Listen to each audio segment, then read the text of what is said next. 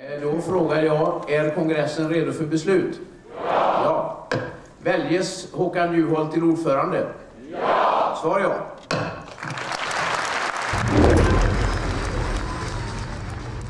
Det står ju i Daniel Suhonens bok att han ringde en fredag till dåvarande kommunikationschefen när jag var partiordförande och frågade vad kan jag göra för att hjälpa till? För att hjälpa partiordföranden att hjälpa till. Och han fick svaret, du ska inte göra någonting för på måndag är han borta.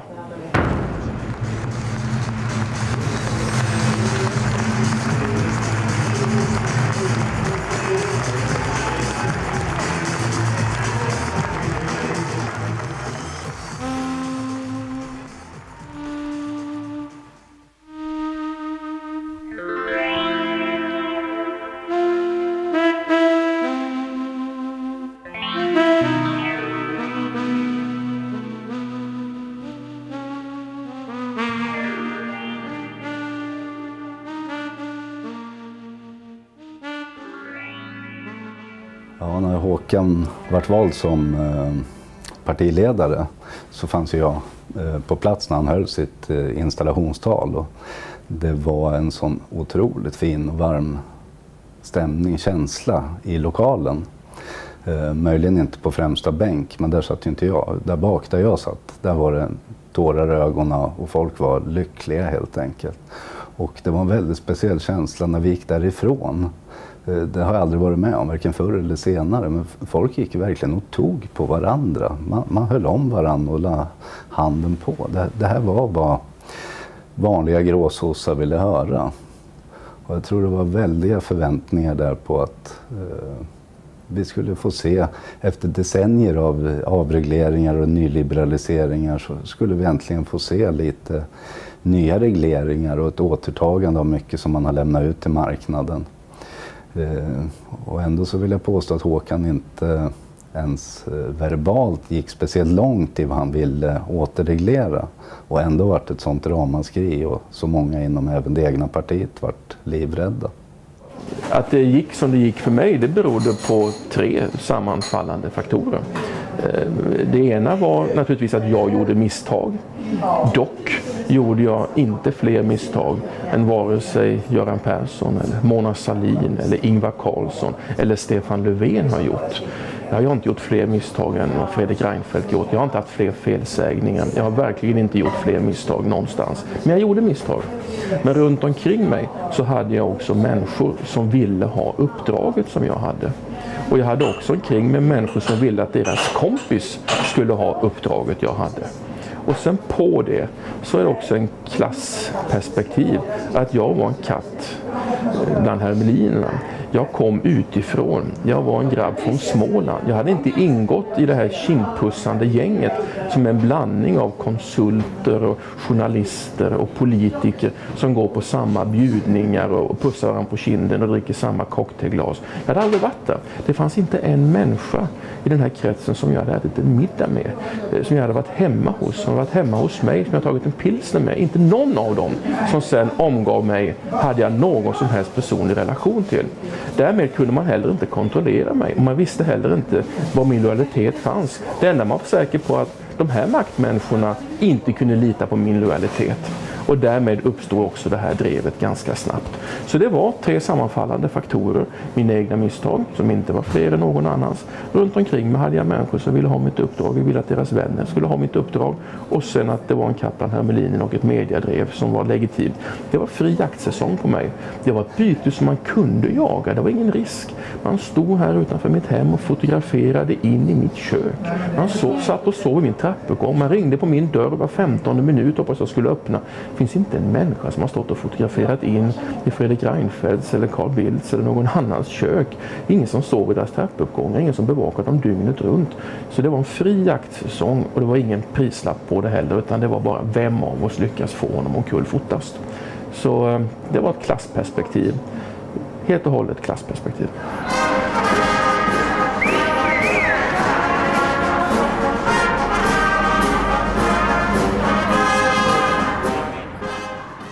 Övertygelsen om att det går att förändra verkligheten till det bättre är det som binder samman generationerna inom arbetarrörelsen. Men då måste vi hålla samman. Då måste vi ha förmågan att forma en bred folklig reformpolitik i hela landets intresse. Kapitalismen skapar otrygghet och ökade klyftor mellan människor. Den lägger makten över framtiden i händerna på ett litet fåtal. Olof Palmes, Olof Palmes styrka var ju att knyta ihop dagspolitiken med visionen om morgondagen. Berättelsen om det samhälle som skulle komma. Eh, han gav oss en möjlighet att drömma om ett annat samhälle. Ett rimligare samhälle, ett jämlikt samhälle. Man fick en chans att kunna blicka in lite grann i framtiden vart socialdemokratin ville ta landet. Och det tror jag var hans styrka. Vi är idag inte bättre än andra partier på att beskriva vad vi vill göra med samhället långsiktigt.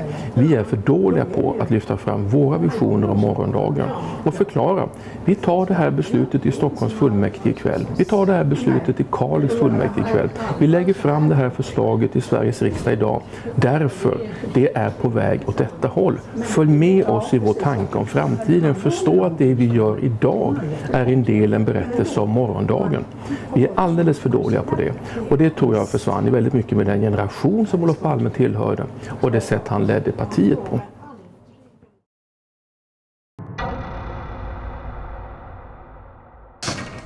Jag tror inte på en återgång. Nej, nej man är? Men i alla fall. Du ska alltid ha med det. Inga träd får växa upp i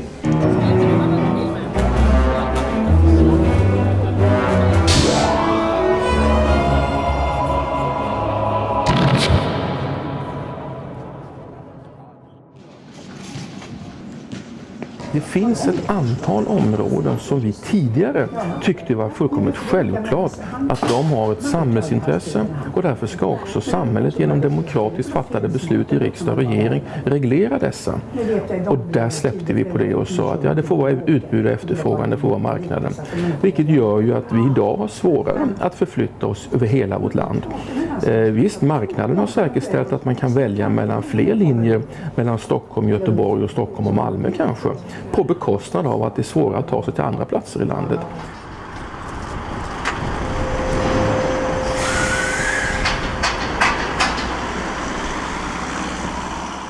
Vi måste återupprätta en social bostadspolitik. Vi kan inte bara bygga lägenheter som innebär att människor är upplåsta till banker för hela sitt liv. Vi kan inte bygga lägenheter. Jag sitter i Västertorp här ute nu. En etta, en och en halv, i Stockholmsförort. Där en etta, 1,5 lägenhet kostar en 2-3 miljoner kronor. Det är ju alldeles orimligt att ett ungt par ska ta på sig ett lån på 2-3 miljoner kronor för att flytta in i en etta. Så självklart måste vi återupprätta en social bostadspolitik med en idé om boendet, en tanke om boendet, boendets ut, sociala utjämning men också betydelsen av att få en rörlighet på det som kallas bostadsmarknaden. Så att eh, människor kan flytta både när det gäller till utbildning, men flytta från sin villa till en lägenhet när man blir äldre, när barnen flyttar ut. Det måste finnas en rörlighet som eh, idag saknas.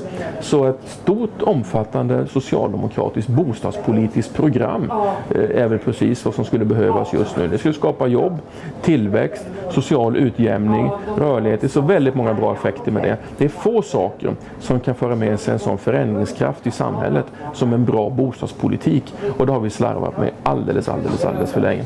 Hej på dig, hej hej. Och, eh, jag sitter i ett område nu i Västertorp så när det projekterades och byggdes så involverades konstnärer i arbetet. Konstnärer, kulturarbetare var med och tog fram hur boendemiljön skulle vara. Och därmed så gick man bortom arkitektens tankar, man gick bortom byggherrens önskan om att få största möjliga avkastning. Man införde ett element av att det ska vara det goda boendet. Idag verkar det vara det enda som styr det är att få ut mest mycket för varje kvadratmeter av den som bygger fastigheten. Så en social bostadspolitik med större ambitioner än att generera avkastning till byggherren, det tycker jag vi socialdemokrater ska stå upp för.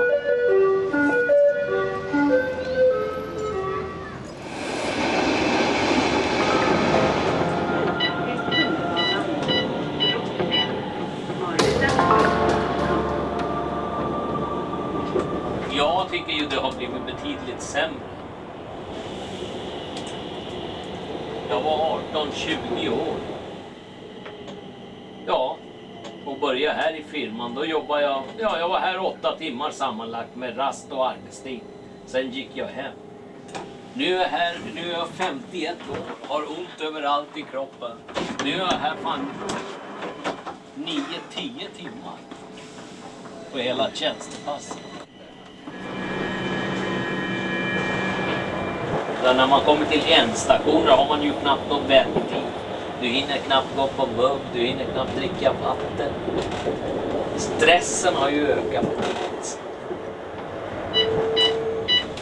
Och sen till sist blir ju kanske människan sådär, man skiter i, man bara gör det man ska göra och sen... Du vet, jag brukar ju säga, jag har ju sett firman har ju fungerat. Folk har ju trivts här. Jag brukar kalla det här på mitt andra hem, man trivdes ju här. Nu är vi framme.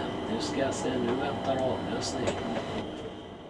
Transporter, elförsörjning, utbildning och andra sådana verksamheter som vi ganska enkelt kan komma fram till att de är grunden för samhällets funktionalitet. De ska inte politiken låta marknaden härja.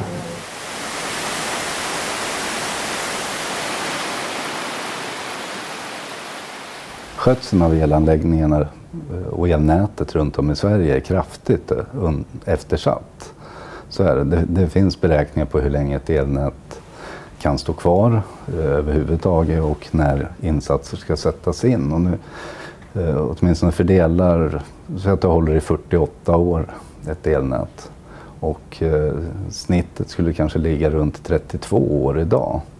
Och då är vi ute på landsbygd och vi är på huvudledningar och ja, över hela spektrat så att säga. Och det finns inte Eh, kraftverksmontörer att sätta in och, och göra de här satsningarna som behöver göras.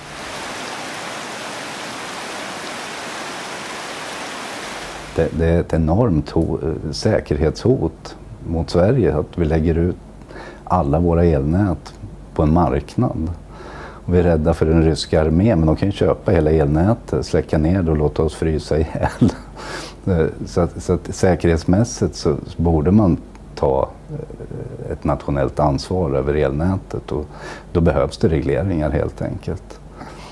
Eh, ett vinstintresse som driver ett elnät som Fortum eh, runt Stockholm här.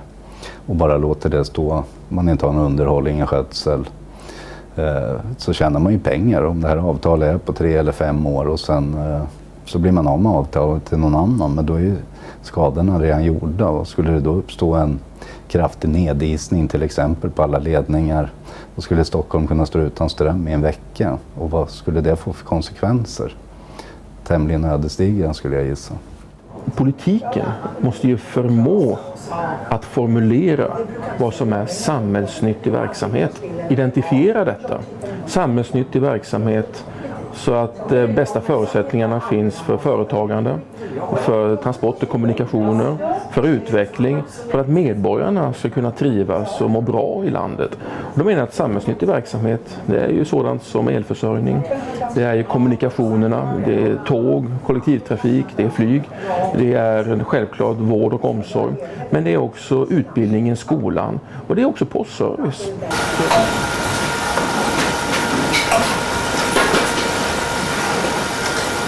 under 90-talet och fram till nu så har det ju blivit jäktigare, stressigare hos oss här på Årsta. Det händer väldigt mycket hela tiden. Det är, ibland så är det svårt att hänga med. Det är mycket krav från alla håll avregleringen kontra det rationaliseringstryck som sattes på eh, de anställda i posten och, tror jag på samhället utanför också var ju väldigt hårdhänt under 90-talet och in, in på 2000-talet och det innebar ju då att, att eh, det idag i produktionen är ett betydligt hårdare klimat än vad det var för ett antal år sedan. Äh, vänta, vänta, det kan bli stopp här. De stora företagen var de som tjänade på avregleringen medan däremot privatpersonerna inte tjänade någonting på när avregleringen skedde i Sverige 1993 så trodde alla att det skulle bli en snabb avreglering av marknaden, postmarknaden i Europa överhuvudtaget. Så skedde ju inte. Eh, så sent som idag då så är det ju egentligen bara Finland som också har avreglerat och de har ju samtidigt en koncessionsavgift så att man kan nästan säga att det är bara Sverige som fortfarande avreglerar.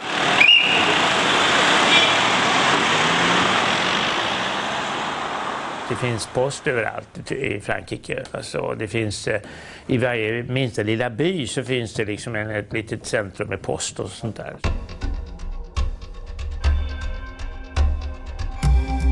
Ett antal områden som faktiskt måste fungera för att medborgarna ska kunna känna tilltro till samhället och för att samhället ska vara funktionellt. Gör det inte det, då finns det uppenbar risk att eh, det blir sådana brister att det får ekonomiska konsekvenser. Företag kan inte lita på transporterna, människor kan inte lita på att de kommer till jobbet. Tilltron till samhällets funktionalitet krymper.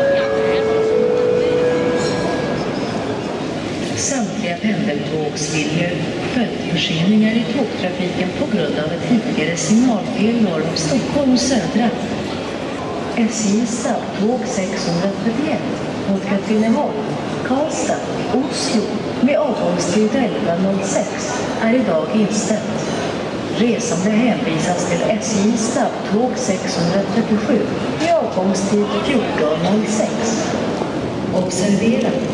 Den beräknade tiden är preliminär och kan vändas till en tidigare eller senare tid. Det kan också få sådana konsekvenser som inom skolan som då är en marknad som är ett rent High Chaparral. Att skolsegregationen ökar, resultaten sjunker, samhället glider isär.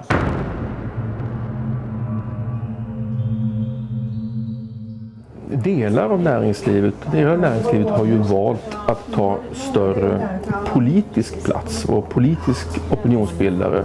Inte minst när det gäller synen på att privatisera, sälja ut våra gemensamma tillgångar. Eh, därför man vet om att där finns det mycket pengar att tjäna. Där kan man bli väldigt rik på att man får överta eh, verksamheter som vi tidigare har drivit gemensamt. I synnerhet som verksamheten också är skattefinansierad så är det ju, det är ju ingen riskverksamhet. Vårt bekymmer i strukturen idag är att riskkapitalbolagen är de som tar minst risker. Riskkapitalbolagen går in i de säkraste verksamheterna, äldreomsorg, skolor, sjukvård, vårdcentraler.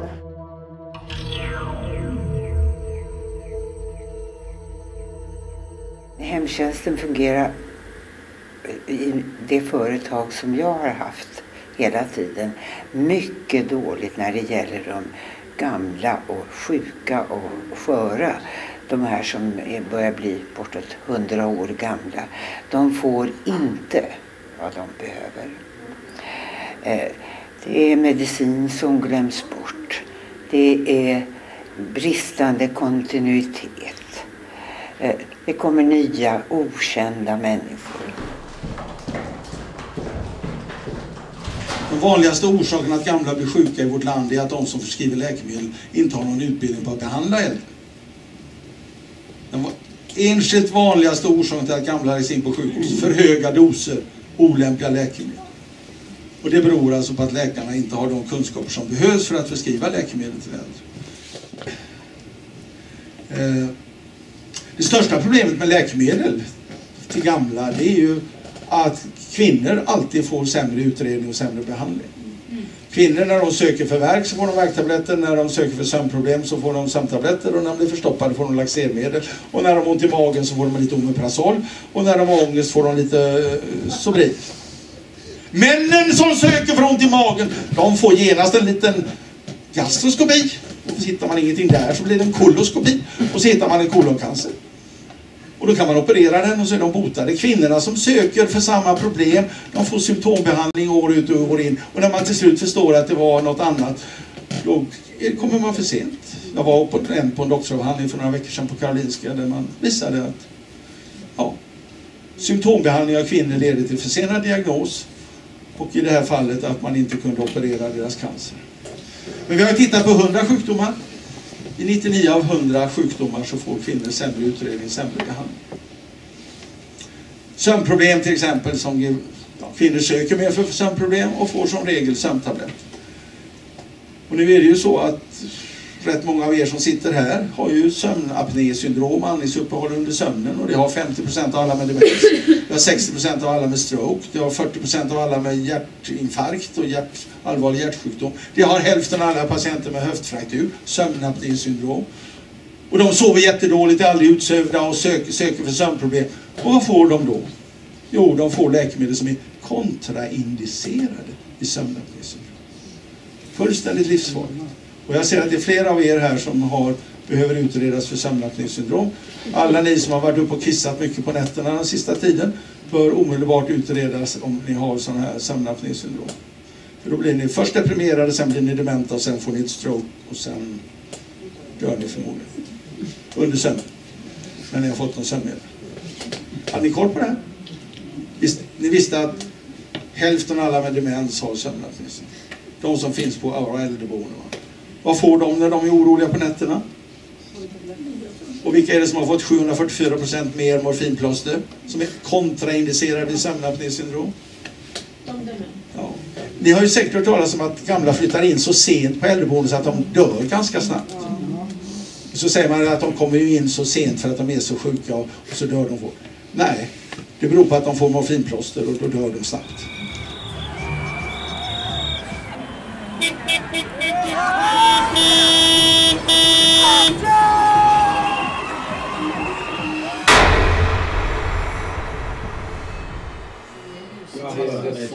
Senast hade födelsedag.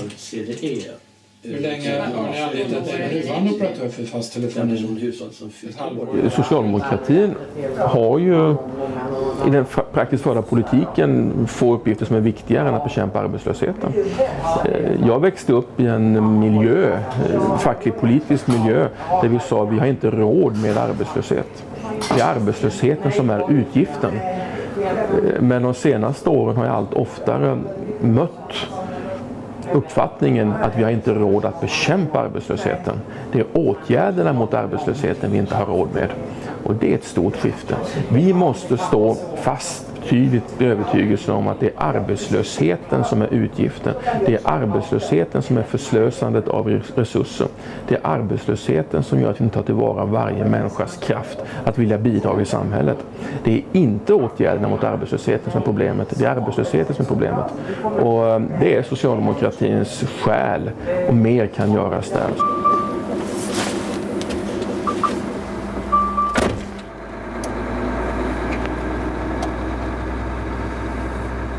Mina bilar blev utkastade från förmedlaren jag hade sedan ett par år tillbaka. Och jag var inte ensam om det utan de kastade ut alla svenska bilar. Och tog in ja, bilar från Baltikum framför allt. Som låg 20 procent under i prisen vad, vad vi hade tidigare då. Och det, det är ingenting jag kan konkurrera med. Låt mig ta ett enkelt exempel. En litauisk gärningsman åker in via Frihamnen i Stockholm eh, med en kumpan, sätter sig i bilen, kör till eh, Vetlanda i Småland eh, där man går in i ett, på en bondgård och stjäl en åkgräsklippare lastar upp den på sin släpvagn, kör vidare, åker ut via Ystad, senare, senare samma dag eller dagen efter, försvinner in i Polen och sen så tillbaka till Litauen. Hur ska svensk polis kunna klara upp ett sånt brott? Gärningsmannen är fullständigt okänd, finns inte i några av våra polisiära register, finns inga vittnesuppgifter, detta händer ute på landet. Vi har en fri rörlighet som innebär att man kan resa in och ut över våra gränser utan att bli registrerad på något sätt. Fråga, berätta för mig, hur ska man kunna klara upp detta brottet?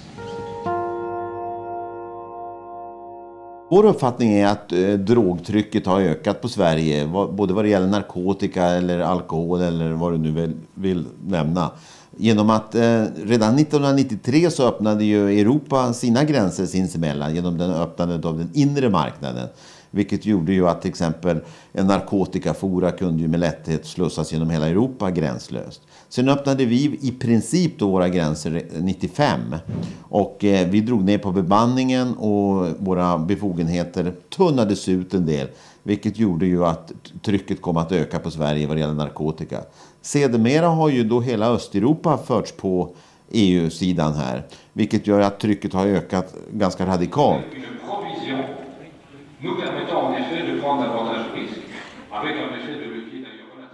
EU-frågan har ju så väldigt många dimensioner. Och för mig så, och EU har ju väldigt många brister. Otroligt många brister. Och bristerna blir ju ännu fler när det till huvudsak är högerregeringar som styr EU.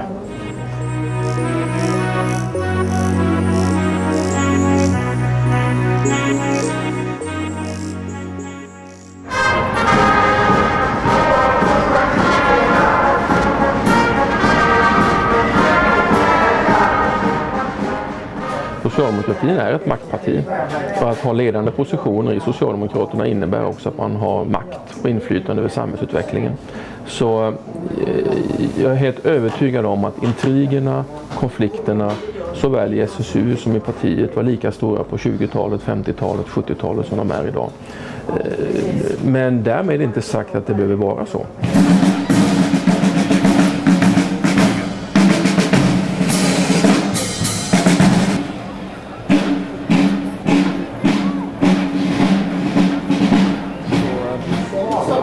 Mer att skapa opinion, bilda opinion, forma opinion än att följa opinion. Socialdemokratin ska inte vara som en liten stock som åker i en stor foss och följer med fossen. Socialdemokratin ska vara själva fossen.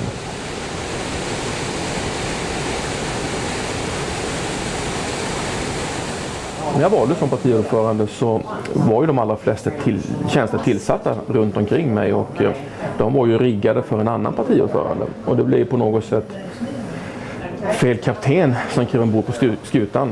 Eh, det var många som hade sett exempelvis Thomas Östros som jag kände att det var, var riggat för. Eh, att det var han som skulle vara partiordförande. Nu visade det sig att att valberedningen och partidistrikten inte ville ha honom utan de ville ha någon annan. Då valde de mig.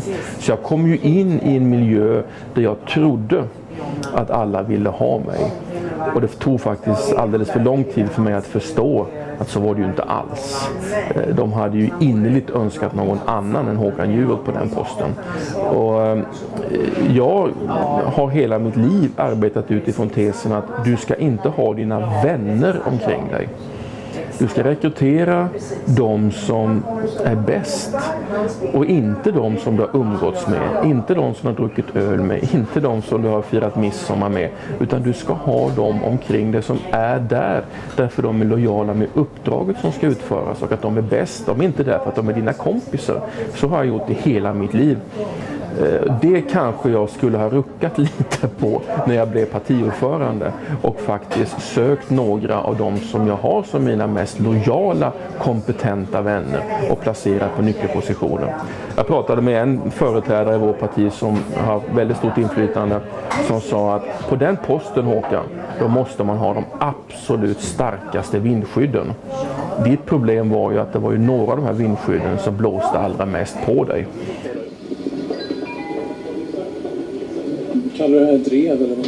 Ni har mig runt omkring er hela tiden. Jag försöker svara på frågor hela tiden men nu pågår det också en förundersökning. Men vad fick du egentligen att tro att riksdagen ska betala för din sambos boendekostnader?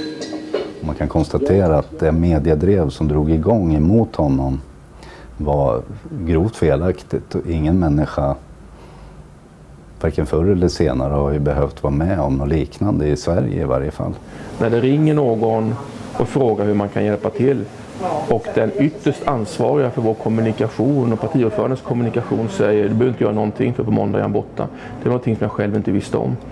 Men det pågick säkerligen en process där då. Har du inte skyldighet som riksdagsledamot att ta reda på vad det är som gäller? Ja, det har jag. Jag fick den uppmaningen av VU att åka ut i landet och se om jag kunde återfå medborgarnas förtroende och partiets förtroende. Så jag åkte ut på en turné som innehöll 60 eller 70 stycken tal runt om i hela landet. Stående applåder, stående jubelapplåder, mycket, mycket starkt stöd. Eh, och där jag på varje plats när jag åkte därifrån så Körn Håkan, vik inte ner dig. Och eh, samtidigt så pågick, lämnade jag ju då Stockholm, så då pågick ju integrerandet på kontoret i Stockholm istället. För jag täckte ju varenda län i landet på den här turnén. Och ett tydligt exempel på detta är ju att eh, på morgonen före mitt sista VU-möte så hade jag ett frukostmöte med ordförandena för arbetarkommunerna Stockholm, Göteborg, Malmö. Där alla tre säger vi står bakom dig Håkan. Eh, vi vill att du ska fortsätta, vi står bakom dig. Medan deras företrädare i verkställande utskottet företrädde sig själva, inte sina arbetarkommuner och argumenterade på ett annat sätt. Men på morgonen när jag kommer till V1 då vet jag om att Stockholm, Göteborg och Malmö står bakom mig. Plus alla de distrikt som jag hade rest i. Så jag visste att jag hade arbetarkommunernas stöd. Men partiet hade mått dåligt av en utdragen konflikt. Jag kunde självklart ha gjort som Corbyn Eh, eller andra som har utsatta för samma sak, eller Kristdemokraterna som Göran Hägglund gjorde och sagt att jag vet om att jag har medlemmarnas och arbetarkommunernas stöd. Och om det är som så att någon av er vill kandidera mot mig, ja då får ni göra det på kongressen. Jag kör fram till kongressen och jag möter medlemmarnas dom på kongressen. Självklart övervägde jag att göra det. Inte minst som att jag visste att de tre stora arbetarkommunerna stod helhjärtat bakom mig. Men eh, jag är född och uppvuxen i det här partiet och jag kände att det finns en uppenbar risk att partiet kommer ta skada av det. Därför valde jag lojalitet, att sätta partiet före mitt eget intresse att fortsätta. Men visst känner jag en stor sorg och ett vemod över att den politiska kurs, den politiska linje för socialdemokratin som jag företrädde och tog så starkt på och som också togs emot så väl och som förde upp opinionssiffrorna till 37-38 procent bara på ett halvår och som partimedlemmarna jublade över och som medborgarna kände, nu känner vi igen socialdemokratin, att den inte fick pröva sitt allmänt val. Och jag sa också till VU att jag lovar att om inte våra opinionssiffror ett år före kongressen är långt över valresultatet, alltså kring 36-37 procent. Om de inte är där ett år före kongressen, då lovar jag att då möter jag inte kongressen. Då ger jag mitt besked att jag inte står till förfogande för omval. Men det löftet på 36-37 procent före, ett år före kongressen, det räckte inte för de som ville se om sitt eget hus och positionera om sig. Och därför så var inte det möjligt. Och nu är ju det siffror som socialdemokratin faktiskt bara kan drömma om.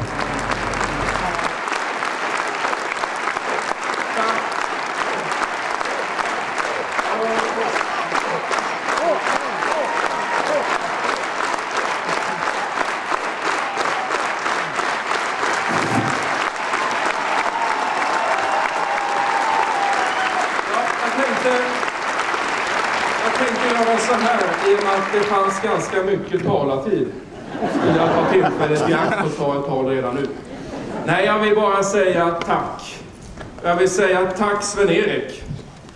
Tack Sven-Erik för att du i 14 dagars tid på din mobil har haft den kärva versionen av eh, Tom Pettys I, I won't back down framförd av Johnny Cash.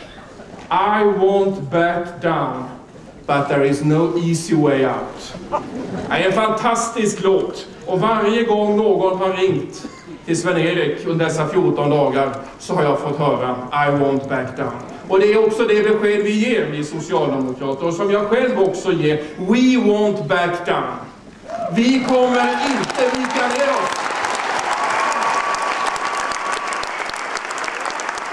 Vi kommer inte vika ner oss.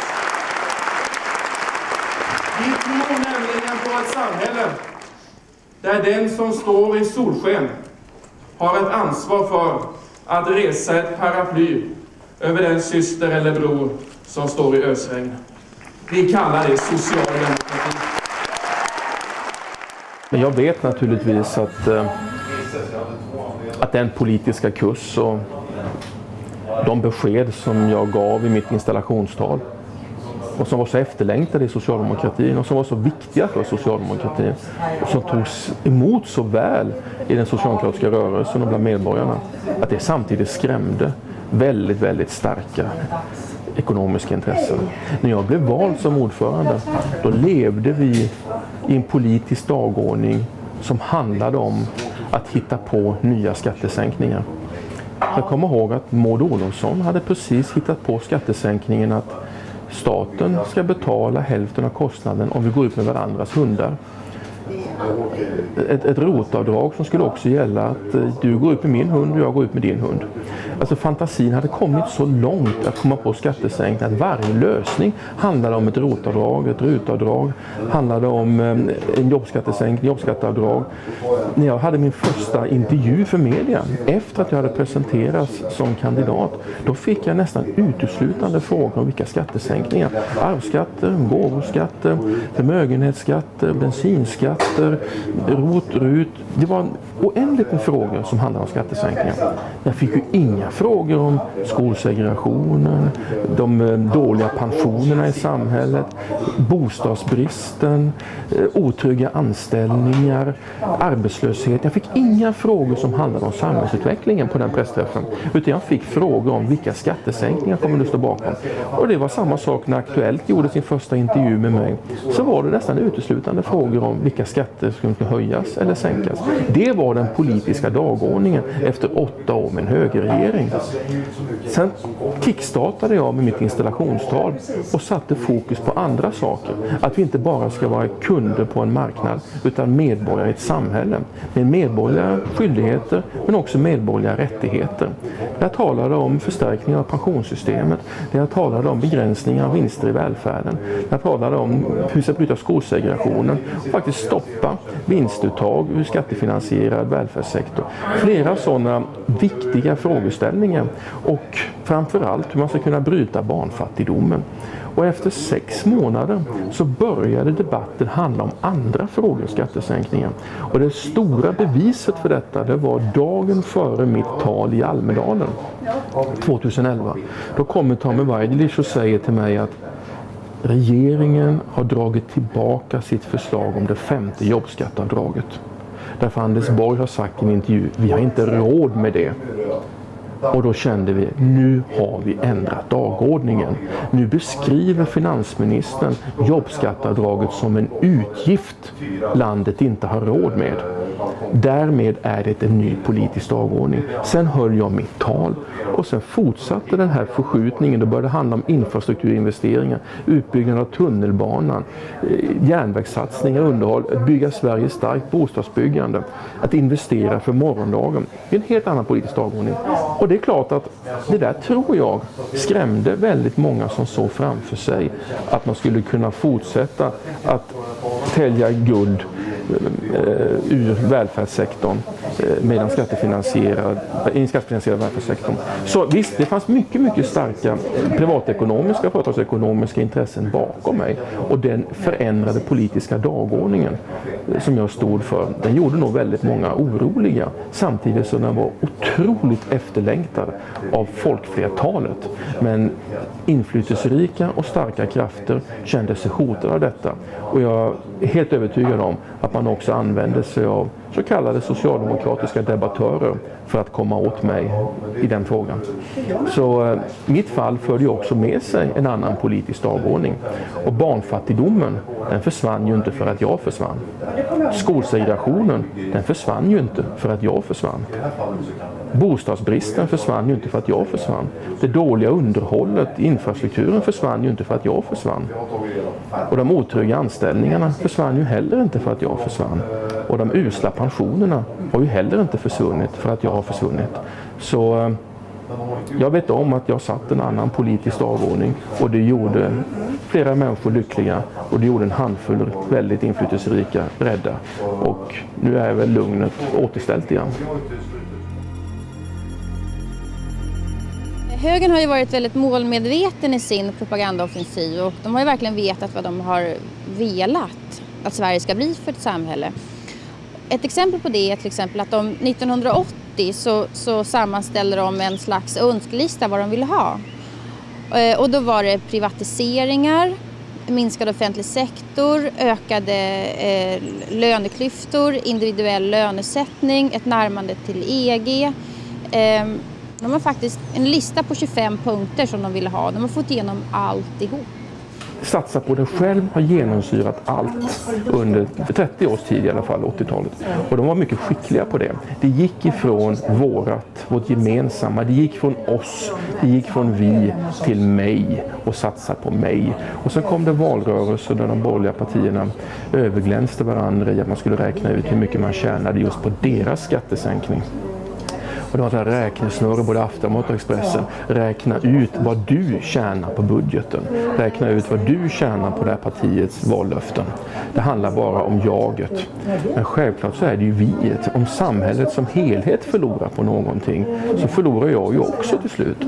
Så bilden av att varje människa är en isolerad ö, frikopplad från alla andra, har ätit sig in ordentligt i vår samhällskropp och den skadar oss.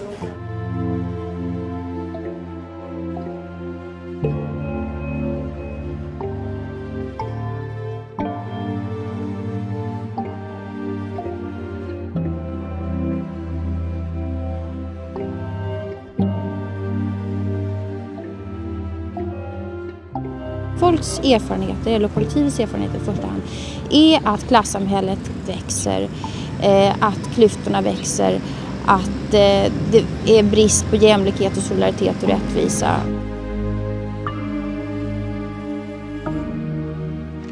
Sverige har fört en väldigt extrem invandringspolitik i jämförelse med andra länder i vår del av världen. Så är det, detta är ett faktum.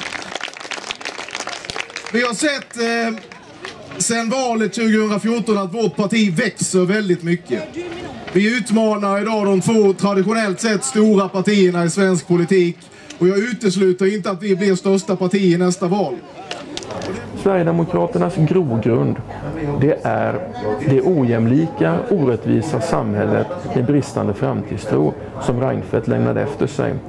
Och det bästa medicinen mot Sverigedemokraternas framgång det är att socialdemokratin kraftfullt återger människor framtidstro och ger människor möjligheten att se framtiden an med tillförsikt. Och jag brukar i några sammanhang citera Monica Zetterlund. Den alldeles fantastiska sången som jag också lyssnade på i en parti, inför en partiledardebatt med Fredrik Reinfeldt och tog också upp den sången i partiledardebatten. Vad blev ni av? Ljuva drömmar om en rimligare värld. Vi måste åter få friheten att drömma om att en rimligare värld är möjlig och se hur denna rimligare värld ska kunna se ut genom den politik som förs idag. Det är socialdemokratins uppgift. Och lyckas vi med det, då kommer Sverigedemokraterna krympa ihop.